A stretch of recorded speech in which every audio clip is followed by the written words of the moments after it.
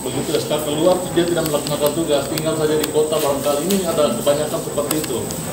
Nah, sehingga inilah yang kita perlu lakukan verifikasi dan dari sekian banyak itu akan kita putuskan. Kalau tidak melaksanakan tugas ada SK tapi tidak melaksanakan tugas ya dengan berat hati kita geser dulu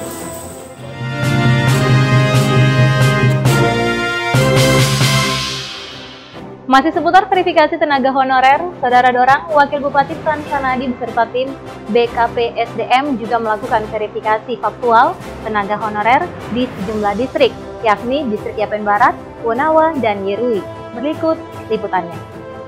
Wakil Bupati Kepulauan Yapen Fransanadi BSC SOS MPA pada Selasa 6 Oktober 2020 melakukan kunjungan kerja dalam rangka verifikasi tenaga honorer di Distrik Yapen Barat. Ia didampingi oleh tim verifikasi BKP SDM Kepulauan Yapen, di antaranya AM Murobai serta Yohan Kaseng.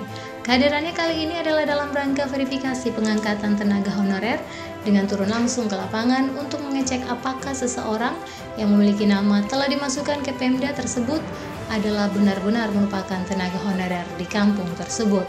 Di Ansus kehadirannya disambut langsung oleh Kepala Distrik Yapen Barat, WLM Dedifu, serta bertemu dengan para petugas kesehatan. Pertemuan kali ini berlangsung di Puskesmas Ansus, di, mana dilaporkan kepada Wakil Bupati bahwa total tenaga medis di Puskesmas ada 17 orang, serta tenaga DHC ada di setiap pustu, sementara di lokasi berbeda di Kampung Marau berlangsung di gedung SD YPK Sola Gracia Marau.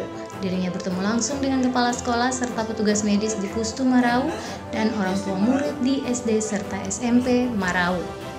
Wakil Bupati Fransanadi menjelaskan bahwa di tahun 2020 ada pengangkatan tenaga honorer, di mana dalam pertemuannya bersama Menpan RB di Jakarta disampaikan agar Pemda harus memiliki database yang menjadi dasar acuan.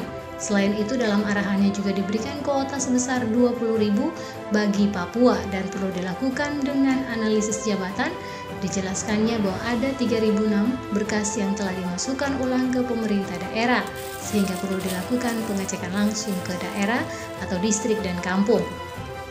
Sementara di Puskesmas Induk Woi ditemukan sejumlah nama kontrakan yang tidak aktif, tapi namanya masuk dalam daftar dan yang aktif tidak dimasukkan.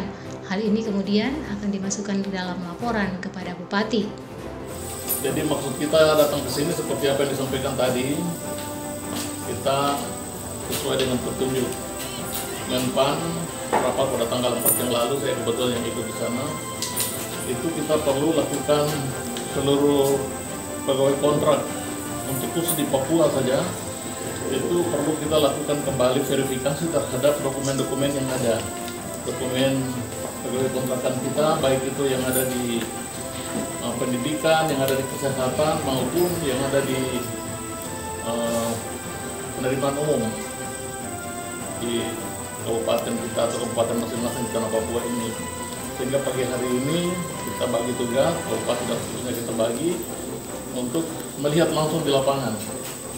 Jadi tenaga-tenaga kita kontrakan yang ada di puskesmas, tenaga kontrakan kita yang ada sebagai Eh, guru yang mengajar di SD, SMP, bahkan di SMA pun kita masih melakukan verifikasi juga, nah, termasuk di dalamnya di puskesmas ini.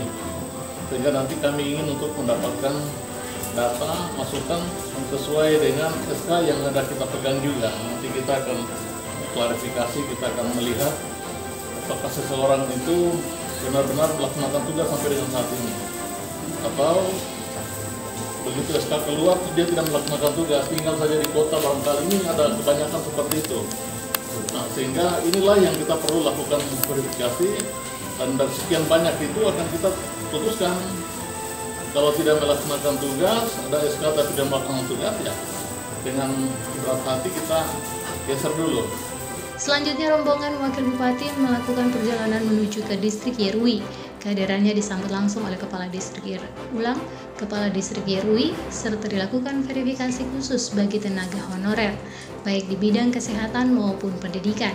Wakil Bupati Fransanadi menjelaskan bahwa Bupati telah menunjukkan dan membagi lima tim, di mana dirinya ditugaskan untuk memverifikasi di wilayah distrik Yapen Barat, distrik Wonawa, serta distrik Yerui. Selain itu, tim Bupati melakukan verifikasi di distrik Yapen Utara, Distrik Wendesi, Distrik Pom. Tim Inspektorat melakukan verifikasi di Distrik Yawakukat, Distrik Angkai Sera, Distrik Kepulauan Ambai, serta Distrik Teluk Ampimoi. Sementara staf ahli Bupati Ken Ren Maur melakukan verifikasi data Distrik Yapen Selatan, Distrik Anotorei, Distrik Osiwo. Selanjutnya tim staf ahli Dirkayar melakukan verifikasi di Distrik Pulau Kurudu, Distrik Yapen Timur, dan Distrik Raing Bawi. Tim Liputan, Yapen Channel.